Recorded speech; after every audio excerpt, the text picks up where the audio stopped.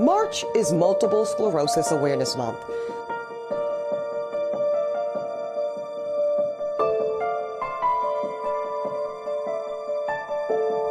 the debilitating chronic disease of the central nervous system, it's no longer considered to mainly impact white women. In fact, more and more black women are now being diagnosed with it, specifically black women.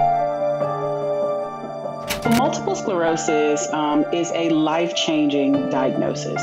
And essentially, what MS is, is a disease where the immune system attacks the central nervous system, including the brain, the spinal cord, and the nerves to the eye. And it results in a variety of symptoms. And there are also studies suggesting that the incidence may be highest in black women. And this is really important because there's more disability that could occur